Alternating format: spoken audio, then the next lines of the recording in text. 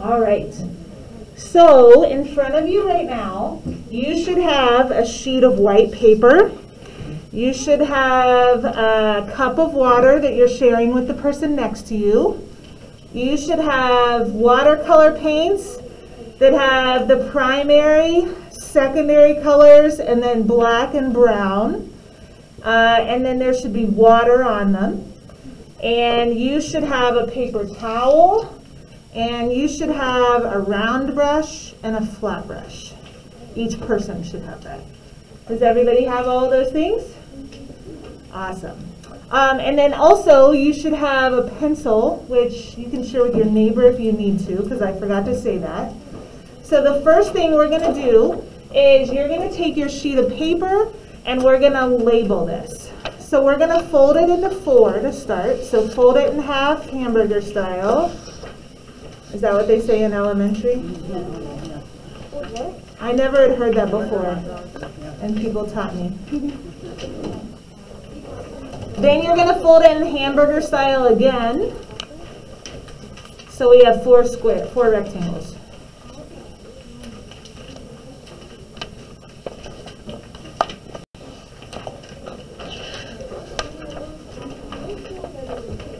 Okay.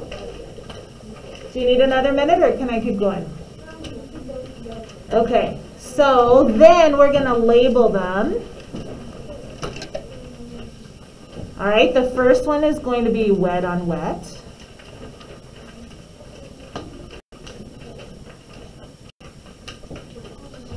Mm-hmm.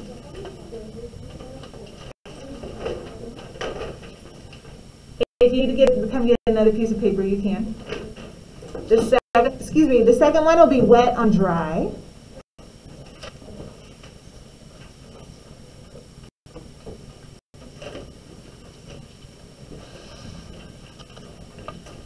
Then a wash.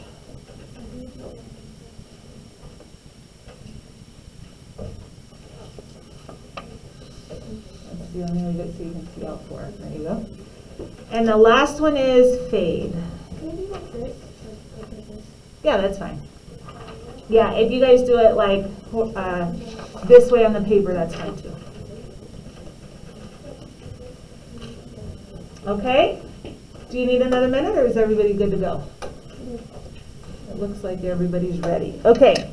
Uh, so the first thing I want to talk about with watercolors that is different than what you might have done in the past is in middle school, I would like you to never dip your brush in the paint and start painting. Does that make all, does that blow all your minds?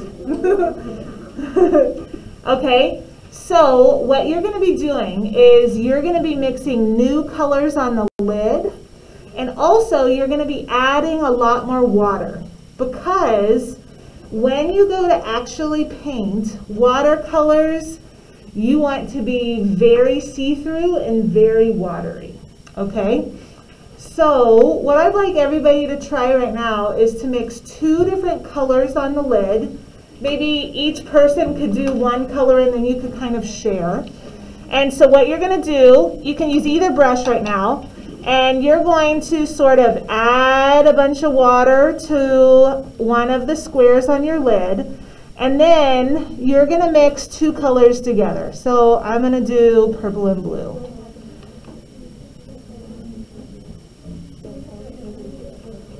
And then you're going to make another one in another square.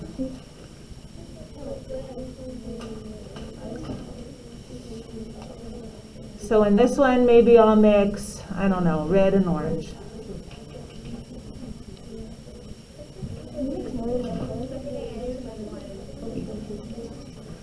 You can make more than that. And hopefully they'll kind of stay in the squares. If you have a lid that is inferior, I'm sorry, and the squares bleed together, I'm sorry.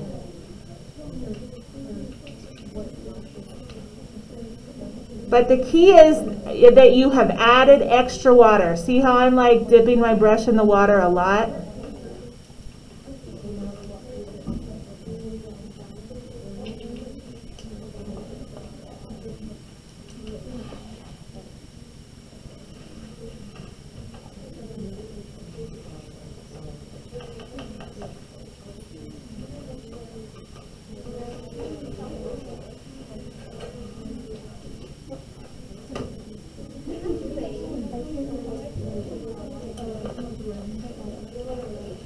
Right, who needs more time?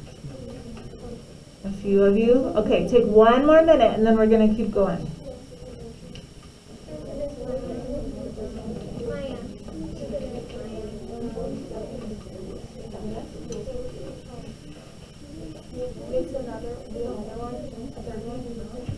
I think two's enough. If you, if you want to do three, you can. I think I'll try. I'm sorry. Got I excited. accidentally sorry. I mixed um, yellow and blue, and then I accidentally added um, and then I, I put green in. I don't know why. And then I accidentally added orange.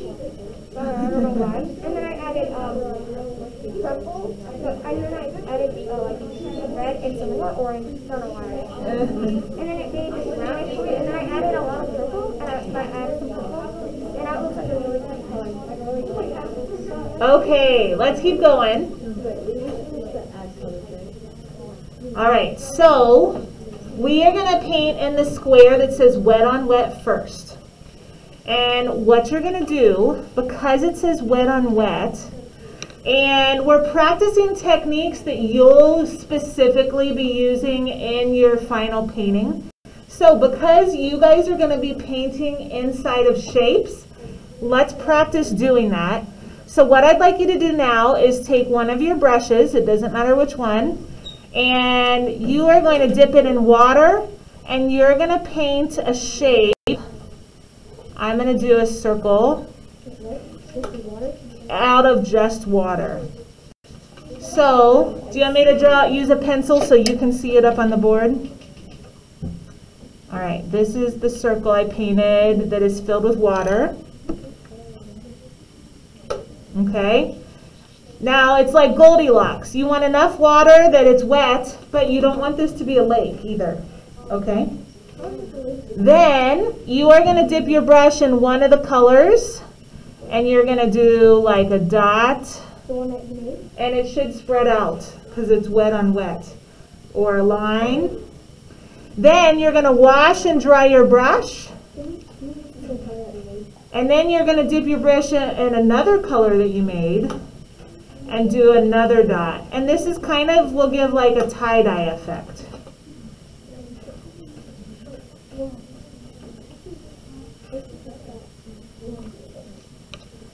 And the key is, so that you don't ruin your neighbor's nice color that they made on the lid, to wash and dry your brush in between each time you switch colors.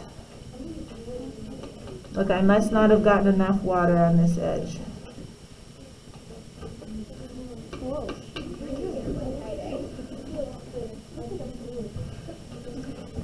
So as you're doing it, notice how the paint is very see-through. This is not dark like if you were painting with acrylic paint. Okay? All right, so take one more minute and then we'll go to wet on dry.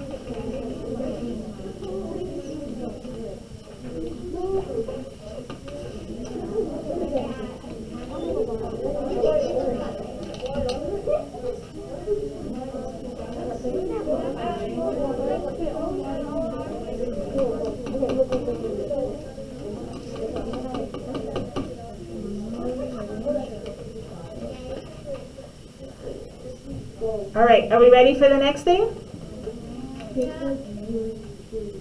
So let's all really quickly do a what not to do at the bottom of this. So since this is wet on dry, we're going to leave the paper dry on the next one. And then I'm going to have you pick a color. I'm going to do purple, where I dip my brush right in the purple and I do a line. Look how dark that is. Okay? So generally, if you want this look with paint, you shouldn't be using watercolors. You should use acrylic, okay? And so that's not what this project is. And then if you want, you can go ahead and like write no or something next to it. This is too dark. Okay, so do like a what not to do. Okay, then with your round brush, all right, so if you've been using your flat brush, switch to your round one. Um, you're going to load up your brush with one of the colors you mixed on your lid. It doesn't matter which one. With the round brush, yep. Then we're going to practice with how to use a paintbrush.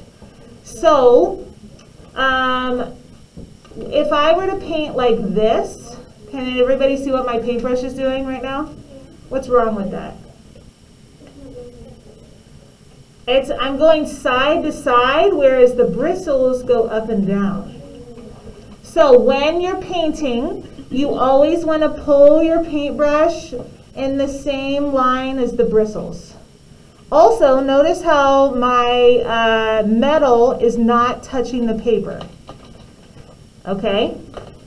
So what I'd like you to try now is doing a calligraphy line where you press a little bit harder with the paintbrush and then slowly lift it up so you get a tiny little tip as you pull the paintbrush along.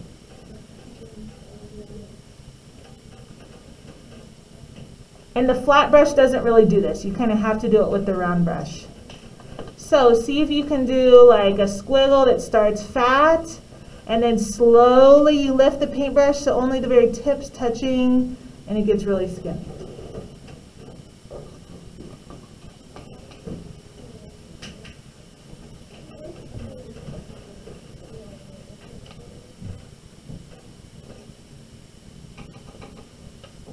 And so this is how you do detail stuff. So for example, on your final, maybe you start by doing like the wet on wet in a shape and let it dry.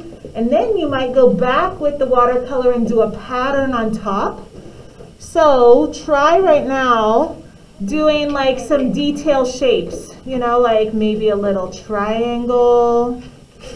And see how I'm only touching the very tip of the brush to the paper or like some stripes, or whatever pattern you want.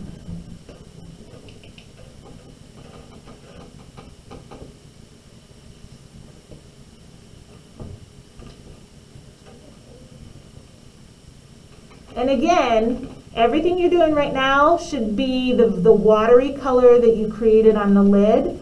If it looks too close to this one that says no, that means that you need to add more water to it.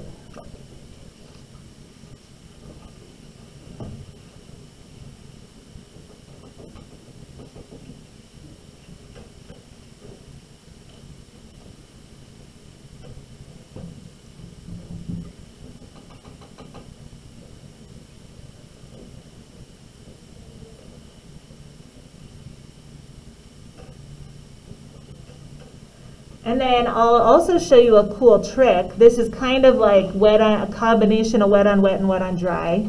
So if everybody looks up front, I'm, I'm dipping my round brush in just water right now. And then I'm gonna paint a shape like, I'll do maybe like a zigzag. Okay, so I did a zigzag in just water. Then I'm gonna go back with one of the colors I mixed and dot it on top and it'll fill in the spot uh, where I did the zigzag, kind of like tie-dye, but in a straight line where I put the water. So like you could do letters like this too, like I could do an M, or I already did do an M for Mohar. I'll do a K for Kari also. Did you guys know that was my name? So see how like when I go ahead and put the dot of color, it like fills it in.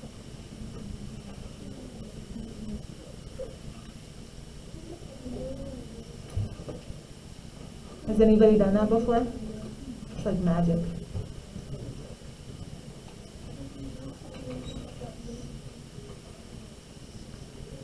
So as you're mixing colors and stuff, if your lid starts looking like a swamp, you are always welcome at any time to like lift the palette out. Okay, like did you guys know that this can come out? Sometimes it gets kind of stuck. And then you can take just the lid over to the sink and rinse it off. I see a few slumps around the room right now.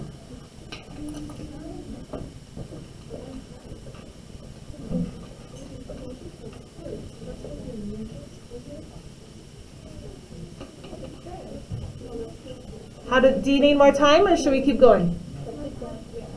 Okay. Take 30 more seconds to come to a stopping point and then we'll do wash.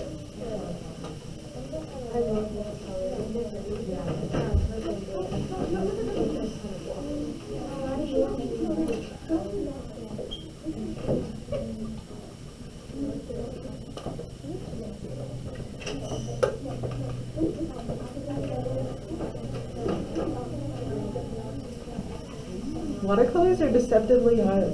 Yeah. They seem like an elementary thing, but they're harder than you think. Yeah.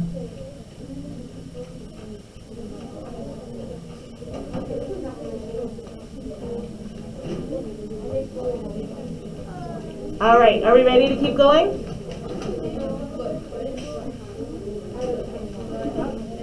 Okay, let's go ahead and do wash now. Did you guys hear what I was saying? Watercolors, I feel like, are deceptively hard. Like, because we think of them as like an elementary paint, but to use them well in like an advanced way is is hard. To like get it watery enough and to get the look that you're trying to go for, and to mix new colors. Okay, so a wash. Is everybody ready? A wash in watercolors means a solid color that fills a space. Okay? So similar to the wet on wet, you are gonna, I'm gonna this time use my flat brush and I'm gonna fill it with water and I'm gonna do a big uh, square shape. You can do whatever shape you want. Would you like me to outline it again so you can see it on the board? You don't need to outline yours, but be um, a, a square brush? no, you, brush. I would use the I would use the the flat brush is easier for this. So you want to fill it with water. I did a square shape.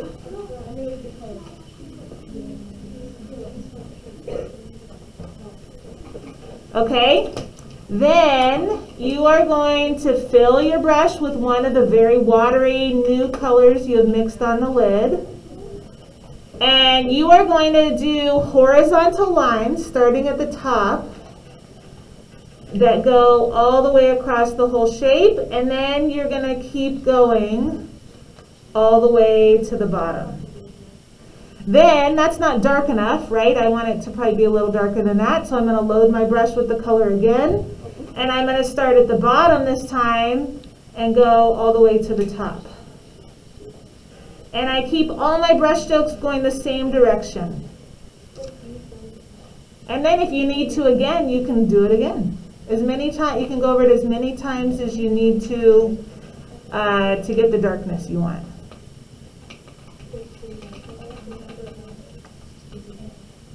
Is everybody being kind to their neighbors and washing their brush in between, uh, dipping it in new colors? Maybe. Okay, so see if you can fill a shape with a flat color right now.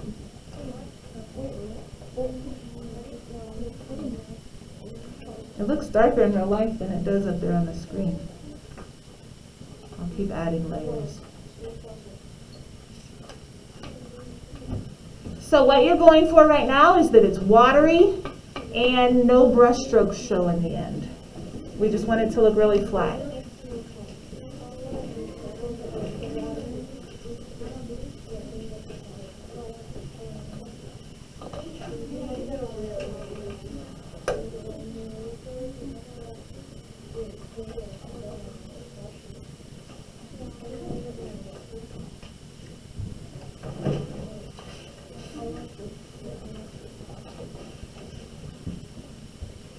All right, are we ready for the last one?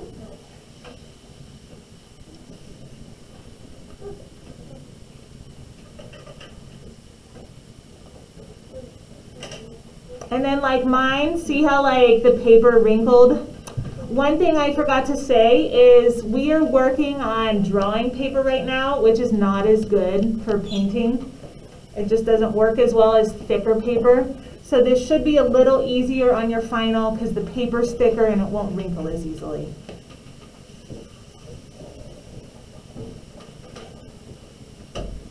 And then like watercolor is, paper is in a step above. Like we're using tag board for the final, watercolor paper is the next step above that. All right, last step, the fade. I'm gonna use my flat brush again. And I'm gonna do another shape of my choice. You guys can do whatever shape you want. I'm just gonna do a square. This one also needs to have a water base, so I'm filling it with water. And again, you want enough water that it's actually wet, but you don't want a lake.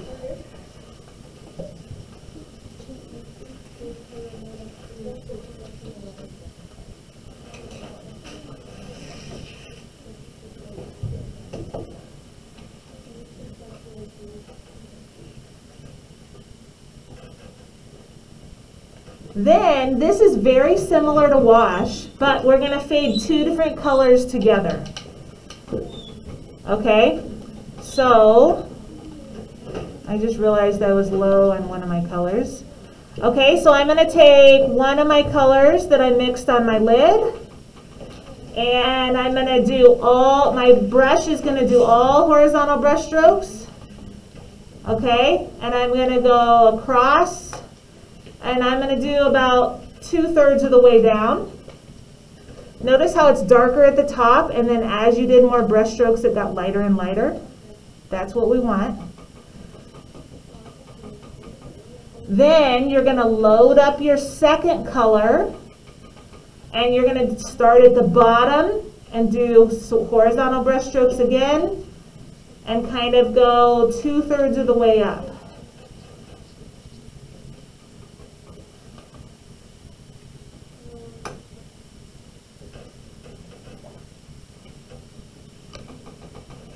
So the goal is to get one color to fade into another color uh, with no brush strokes showing in the end. Except you can see my paper wrinkles where the paint went into little lakes or rivers or whatever you want to call them.